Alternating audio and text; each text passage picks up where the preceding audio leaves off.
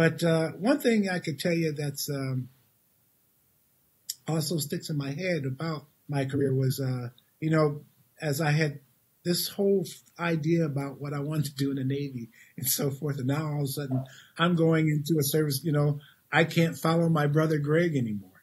And uh, in fact, it was my mother's term that she said to me that going into the wrong recruiting office was probably the best thing that ever happened to me because I had walked in my brother's footsteps long enough, and it was time for me to walk in my own.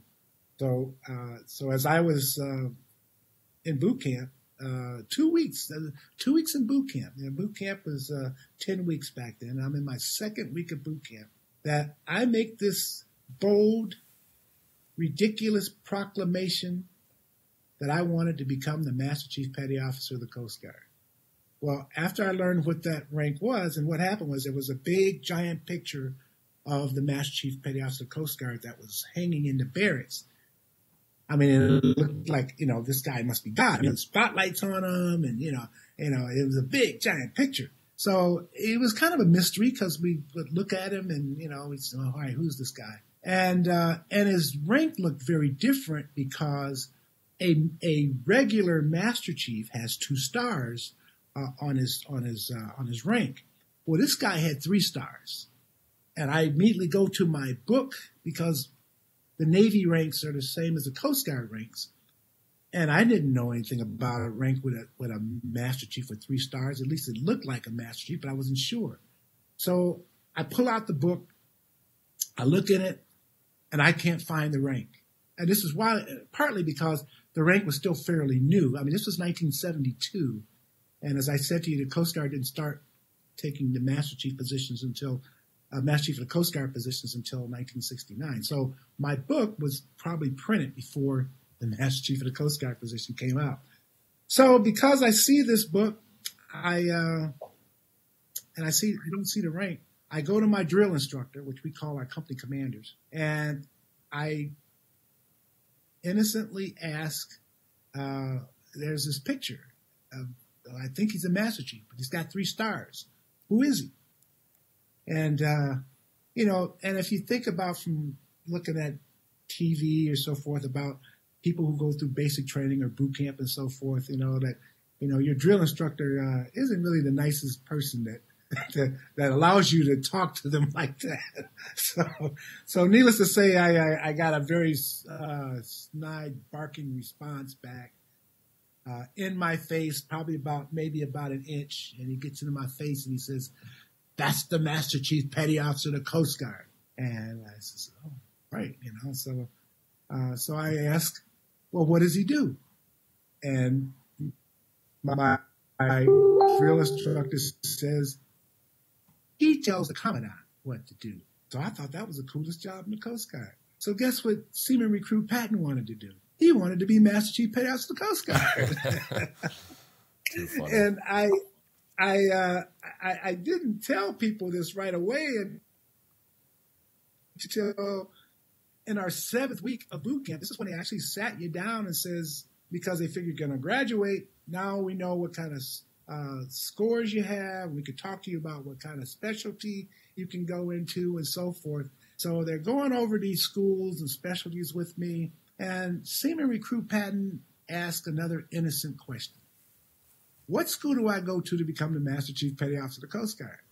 Well, my career counselor thought I was being a smartass, and he tells my company commander, who thought I was being a smartass, and he marches me out to the middle of the parade field and makes me do 50 push-ups.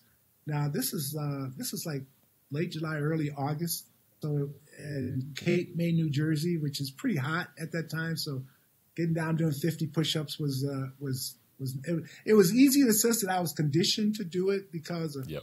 seven weeks of boot camp. That wasn't bad, but it's like 90 something degrees out there while I'm doing this. And I did my push-ups, snapped back to attention when I got done. And my uh, company commander gets into my face and says, the day you become the Master Chief Petty Officer of the Coast Guard, that's the day I'll walk on clouds. Well, he was so right because he died two years before I became Master Chief. Too funny. ay, ay, ay. that was my that was my goal in yep. boot camp that I want to be Master Chief of the Coast Guard. Now, it's not that easy. You just can't proclaim you're going to do it and then just kind of work your way through the system, and then all of a sudden, when the time comes, okay, hey, I asked to become Master Chief of the Coast Guard. I'm in. It's it's a lot more than that. It's about your career, about things and what you do, and and as I started getting people who who, who took me seriously and mentored me, and uh, and and that's what started me on a lot of other roads in the course of my career, particularly with going to school. I mean, I, I went off. I started off in my specialty in in communications, and uh, and then that kind of rolled into me doing. Um, uh, personnel and training. I got involved with doing training. I, I, I was going to school on my own.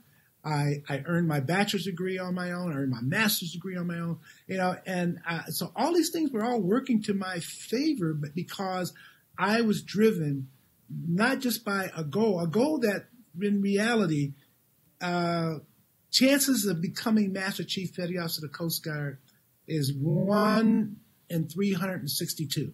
Mm-hmm. That's how many other Master Chiefs that are considered for that position. Right. Uh, so you got to look at what your career is and the things of what you what you want to do.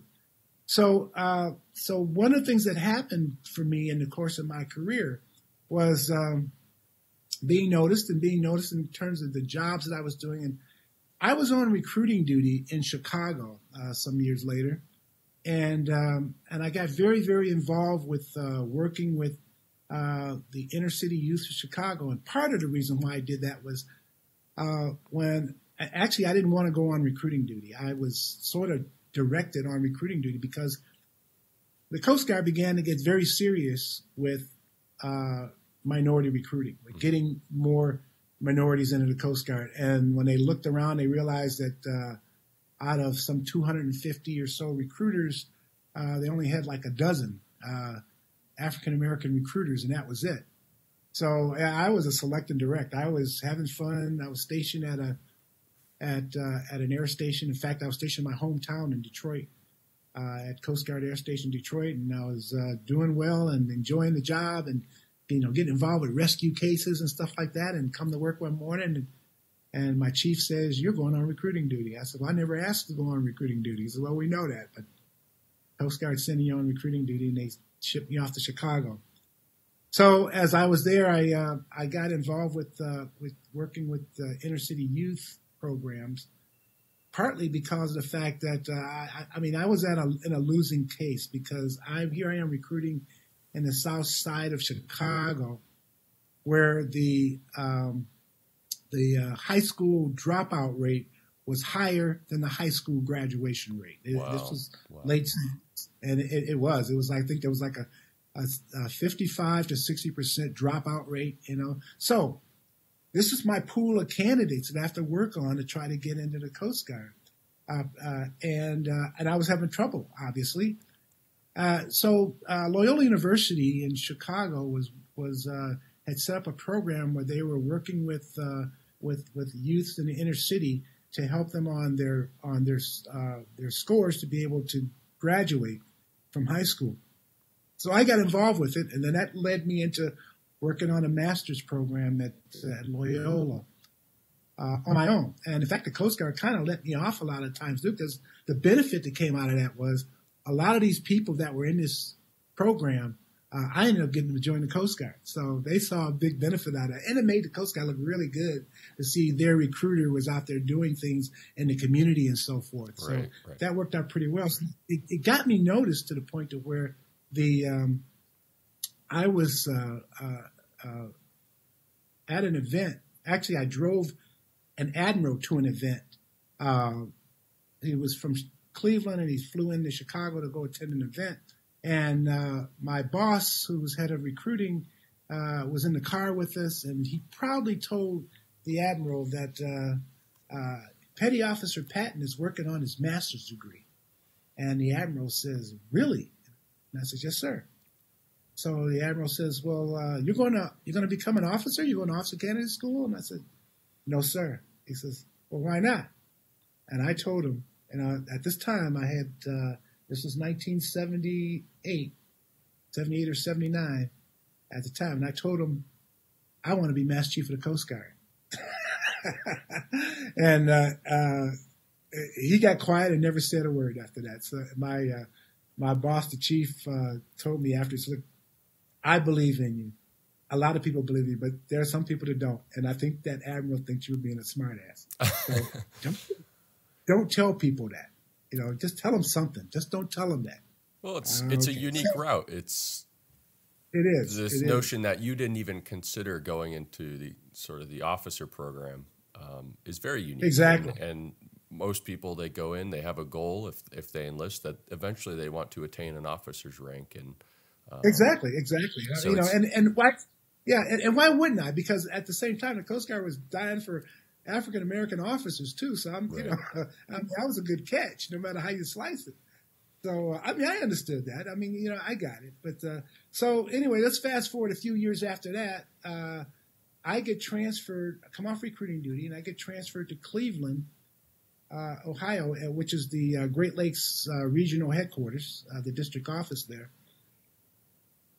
And and I wasn't there longer than nine, maybe ten months at the most. And I come into I come into work one morning. I was working in the personnel office, and um, the uh, my my commander calls me into his office, and he says, uh, "Patton, uh, have a seat at my desk." At, at, this time, I was a I was a first class petty officer at the time, which is uh, pay grade E six. Okay. And uh, I okay, you know, he says, "Well, have a seat at my desk." You know, he says, "You're going to get a phone call from a uh, from somebody in headquarters that wants to talk to you."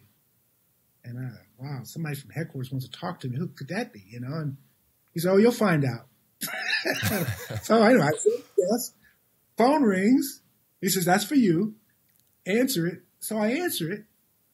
And the guy on the other end of the phone is the commandant of the Coast Guard. Wow. Wow. This, this guy who's a commandant of the Coast Guard, he was that admiral that I had met a few years ago. And back then he was the, he was the Great Lakes district commander. Okay. Uh, he became the commandant of Coast Guard. So he says, Are you the Patton I met in Chicago a few years ago? And I said, Yes, sir. He said, Well, did you ever get your master's degree? I says, Yes, sir. He said, Oh, good. He says, Well, you still want to be Master Chief of the Coast Guard someday? And I says, Yes, sir. He said, Well, good. He says, uh, Well, then I got a job for you that I think that might help you. A job? He says, Yeah. He says, uh, We're looking at changing our, our enlisted performance evaluation system as well as the officer performance evaluation system. And we're going to select two people, one for the officer system and one for the enlisted system, and send you to school to work on your doctorate. And your dissertation is the development of the evaluation system. I said, wow. He says, well, are you interested? I said, yes, sir. So uh, flew me to Washington and I had the interview, and then uh, then I got accepted into American University, where uh, where I worked on my doctorate, and uh, and of course uh, uh, the results of that was developing the uh, the enlisted performance evaluation system, which is still in use today. It's been over 30 years since that happened. It's wow. still in use today. They picked the right and, guy. yeah, I guess so. So you know, this is one of those things. Like you know, when you, you if you if you work with good people and good people mentor you, uh, you will excel. Mm.